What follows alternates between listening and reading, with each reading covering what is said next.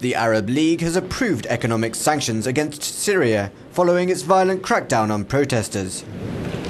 The sanctions, including a travel ban on top Syrian officials and a freeze on the government's assets, were approved by 19 of the 22 members. The Qatari Prime Minister said the move against Syria, which was suspended from the League last week, was an attempt to deal with the issue in house.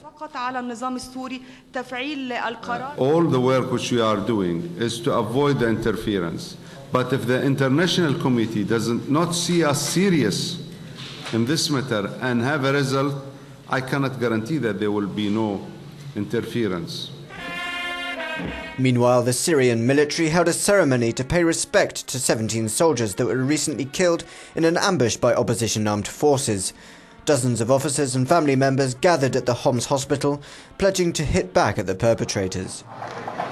The country has seen months of anti government protests, and the UN estimates that around 3,500 people have been killed so far.